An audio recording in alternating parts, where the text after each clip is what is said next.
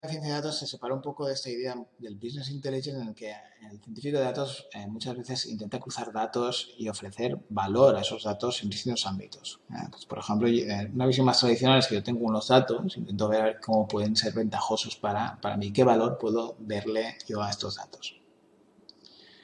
Pero claro, en el día en el que estamos, en la, en la situación en la que estamos hoy en día, hay datos externos que un científico de datos, en general nos podemos dar cuenta cualquiera que nos podrían ser útiles.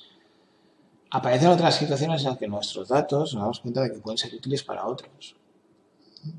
Datos que en principio recogía para, resolver mis problemas transaccionales, ¿eh? pues pueden servir para problemas estratégicos de otras organizaciones. Y después puede ser, eh, muchas veces un científico de datos puede ver que unos datos que están en un sitio pueden servir a otra gente y pueden incluso eh, buscar productos basados en los datos, aplicaciones basadas en los datos que, que, a partir de datos de otros, por ejemplo, lo más habitual son redes sociales, a partir de datos de redes sociales yo, yo proponga una, una, especie de servicio o de solución que pueda servir a otras organizaciones. E incluso, y esto cada día es más común, pues eh, nos podemos plantear si yo tuviera datos sobre esto, podría llegar a hacer esto, otro. Entonces uno se da cuenta de que si yo tuviera esos datos, tendría eh, algo realmente útil, pero no tengo esos datos. Pero esos datos no los tiene nadie. ¿eh? Entonces lo que puedo plantearme es cómo puedo hacer yo para recoger esos datos y que en aproximadamente tres meses, seis meses o un año yo pueda hacer lo que quería hacer. Bueno, pues eso es un poco lo que recoge esa transparencia con el in a in, out a in, in a out, out a out y de nada a out o a veces a in, podríamos hablar, ¿no? Es decir, hay un montón de oportunidades en todos esos ámbitos. Vamos a poner un ejemplo de cada una de ellas ¿eh? para, que, para que quede un poco más claro. ¿eh? Entonces, por ejemplo, la visión eh, de mis datos internos, que yo puedo darles un valor diferente para mi propia organización, desde dentro hacia adentro, por ejemplo, cuando yo tengo datos durante los últimos 5 o 10 años, por ejemplo, de una compañía de seguros con sus clientes se da cuenta de que esa información se puede utilizar para intentar hacer mejores ofertas. Si yo tengo un histórico de cinco años, he visto que los, los clientes con tal perfil tienen menos accidentes, pues cuando me venga un nuevo cliente, yo lo que puedo hacer es intentar, si está dentro de ese perfil de clientes, ofrecerle una oferta más barata que otro cliente. Seré competitivo y al final todavía tendré margen con ese cliente. En cambio, con otros clientes de más riesgo, pues tengo pues igual intentar no contratar o intentar ponerle una, un, precio más alto. Cuando se recogieron los datos de estos clientes, eran datos que recogieron a nivel transaccional. Igual en su momento nadie pensó que esos datos iban a ser útiles para ese tipo de eh, personalización de precio a la hora de ofrecer eh, ofertas a clientes. Pero aún así es información interna que se le da otro uso, pero también internamente. Y esto es gran parte del, ámbito de Business Intelligence se basaba en, esta, en este in a in o de dentro a adentro. Bueno, pues un ejemplo, por ejemplo, en el que, en el que una información interna datos internos que eran, se utilizaban para el funcionamiento transaccional, operativo de la organización, pueden servir a otras, a otras organizaciones. Por ejemplo, hace unos años, pues Movistar, lo que era Telefónica, que tenía su, su marca O2 en, en, el Reino Unido, pues planteó en Londres pues, eh, que tener la información de dónde estaban los móviles en tiempo real con eso igual tienes un, porcentaje de, cobertura de, la población de Londres, pues dependiendo del share en el, en el mercado, pues igual del 15%, del 20%. ¿Sabes dónde está el 20% de la población en Londres a tiempo real? Bueno, pues eso, es una fuente de información que le interesa a muchísimas otras empresas. Si, por ejemplo, una empresa de distribución, como puede ser unos grandes almacenes, por ejemplo, en, en ciertas partes de Londres, una cadena de supermercados o, incluso unos restaurantes. Pues una cadena de restaurantes, quién sabe por qué un sábado por la tarde hay menos gente que el sábado pasado. Porque puedo ver dónde está la gente en ese momento. Igual puedo, ver que la gente se ha concentrado en gran sitio, pues porque ha hecho buen tiempo o porque hay un evento. Hay ciertas cosas que yo puedo ver o se están yendo a la competencia, por ejemplo.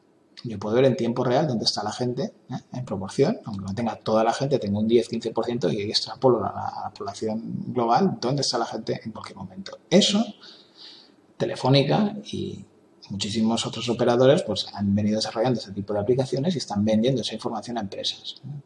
Por ejemplo, también organizaciones y llegan a decir, eh, administraciones públicas llevan acuerdos ¿eh? con ese tipo de empresas. Por ejemplo, hay un acuerdo entre, entre Movistar y, y, la ciudad de Valencia, por ejemplo, pero en muchas otras ciudades está ocurriendo, en el que realmente esa información se, se proporciona. Entonces, pues, pues, por ejemplo, una ciudad puede saber dónde está la gente en tiempo real. Y a partir de ahí, pues puedes organizar mejor tus líneas de autobuses, de metros, los eventos, la policía, un montón de cosas. Fijaos la cantidad de aplicaciones. Pues esto es algo que empresas venden a otras empresas o llegan a convenios en caso de administración. Podemos verlo en el sentido inverso. ¿no? Y, pues aquí tenéis un ejemplo un poco, eh, digamos, que puede parecer sorprendente, pero por ejemplo, pues, pues la policía de Detroit, a partir de redes sociales, pues puede saber dónde se están concentrando el crimen, porque por lo que sea, porque los, los, delincuentes tienen unos patrones a la hora de, hablar en redes sociales o incluso alardean de lo que han hecho. O incluso antes de preparar un crimen, pues, pues tienen unos comportamientos que, se, que en cierto modo se puede predecir que va a pasar. O, puedes ver un poco que cierta, en cierto momento algo se está poniendo caliente y puede pasar algo ¿eh? en cierta zona de la ciudad. ¿no? Pues eso tiene una utilidad. Es algo que yo desde fuera de redes sociales pues veo que me puede, me puede servir. Y después puede haber de, de dos, dos, dos, fuentes diferentes o dos ámbitos diferentes, pues puedo intentar eh, aplicar eh, unos datos, pues productos basados en datos de un sitio a otro. Pues por ejemplo, eh, analizando también de nuevo redes sociales, yo puedo analizar qué partes del cuerpo la gente va nombrando en los, esos en los, los tweets, eso es en Twitter, pues hoy me duele, por ejemplo, un brazo, me duele la, me duele la tripa, o hoy me han levantado con cosquilleo, pues por ejemplo, en, en la garganta, eh, pues esas cosas a veces eh, pues se dejan caer en el Twitter. Y al cabo igual de tres meses, seis meses, pues diagnostican a esa persona una enfermedad y también lo dicen en el Twitter. Pues dices, mira, me han diagnosticado tal, en este caso eh, lo que es ejemplo, por ejemplo, cáncer de mama. No, pues me han diagnosticado, me han diagnosticado cáncer de mama y puedes mirar los tweets anteriores, durante los antes incluso del diagnóstico, a ver de qué cosas estaba hablando. Pues un poco lo que llegaron a ver es que en algunas patologías, dependiendo un poco, se podía intentar predecir y sugerir, vete al médico porque tienes, eh, te estás quejando de esto, estás hablando de esto o tal, y esto puede tener eh, cierta relevancia o puede estar asociado con una cierta patología. Evidentemente, en muchos casos no es así, ¿eh? pero aunque hayan eh, falsos positivos, pues en algunos casos pues puede ayudar o puede un poco ver realmente porque al médico muchas veces no se le transmiten todos los síntomas, por lo que sea. Pues fue una herramienta, una herramienta bastante interesante a la hora de, de analizar este tipo de cosas. Y ya finalmente, pues uno puede pensar, pues yo voy a crear estos datos y con estos datos que no existen, pero yo tengo en mente ¿eh? un servicio que si tuviera unos datos, ¿eh? ese servicio sería útil. Pues, por ejemplo, yo puedo a partir de, por ejemplo, una aplicación gratuita, intentar recoger información sobre cómo va la gente a trabajar qué tráfico, a qué horas, esa información yo, puedo, yo, puedo saber, pues, por ejemplo, dónde está la gente a través de, móviles, pero, eso solo si soy una compañía grande, si soy una compañía pequeña tengo que comprarlo. Yo lo que puedo hacer es regalar una, app, que la gente se la ponga y aunque solo tenga una penetración del 3 o 4%, sé más o menos lo que puedo extrapolar que está haciendo la población a la hora de ir al trabajo. Pues es una aplicación que más o menos te indica por dónde tienes que ir a trabajar para evitar el tráfico y a partir de esa información que llevo recogiendo la puedo utilizar para otros usos pues igual hay personas, o pues por ejemplo para, para, para ciertas otras organizaciones quieren saber cómo, cómo va la gente al trabajo, rutas alternativas, por ejemplo taxis, etc.